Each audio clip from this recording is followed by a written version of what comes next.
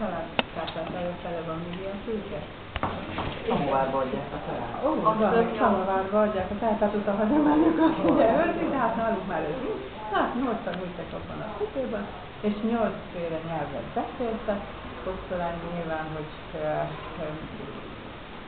szinte minden nyelven értett és beszélt és fordított, még a japánból is, ugye, az a közvetítő nyelven, minden.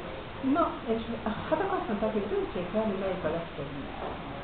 És mindenki a maga nyelvének akarta szerinté varázsolni, és a nyolc nyelven beszélő, ma a hét nyelven beszélő, mindenki elmondta, egyetlen szót kellett elmondani, és az pedig hát a szeretet legyen, hát az minden nyelven valamilyen szépen hangzik, és eh, azokon a nyelveken, amikor, amit először elmondtak, hát én csak a franciát tudom,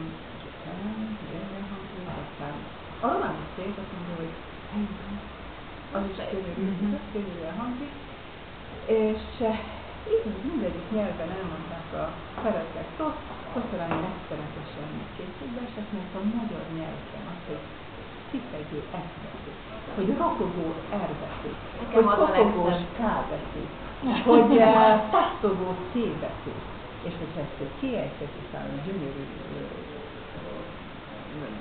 zenélő szavak mellett, akkor az dráma lesz, és azt gondolta, hogy ő is kihelyezte a szeretet, a szeretet tartalmát, ahogy ő gondolja, és azt mondta, hogy.